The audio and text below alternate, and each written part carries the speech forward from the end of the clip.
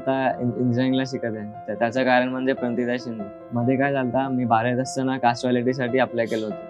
पण एक वर्ष झालं पण अजून ते कम कंप्लीट नाही झालं ते प्रोसेस मग नंतर ना इंजिनिअरिंगचे ॲडमिशन सुरू झालं. मला ते कास्ट पाहिजे होतं ॲडमिशनसाठी तर मग तेव्हा पप्पा म्हणले की जाऊ प्रणिती शिंदेकडे जाऊ. ते आपलं काम करून देते मग नंतर ना प्रणिती शिंदे ताईंकडे आलो मग नंतर अप्लिकेशन दिलं. होतं त्यांना असं सांगितलं की कास्ट व्हॅलिटी सर्टिफिकेट होईना.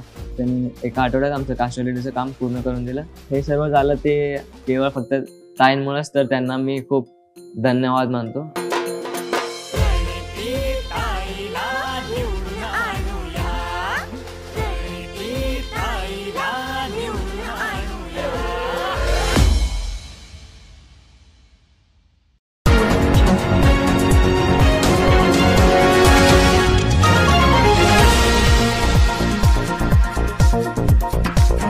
गत दहा वर्षात आमदार या नात्याने प्रणितीताईंनी शहरात विकास कामांचा डोंगर उभा केला आहे.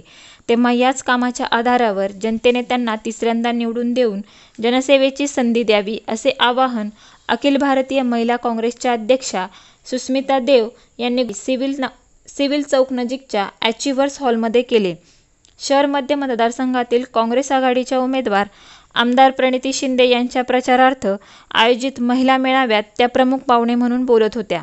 या प्रसंगी राजस्थानच्या महिला व बालकल्याण मंत्री ममता भूपेश ज्येष्ठ नेत्या उज्ज्वलाताई शिंदे माजी महापौर अलका राठोड सुशीला आबुटे हेमा चिंचोळकर सुमन जाधव यांची प्रमुख उपस्थिती होती.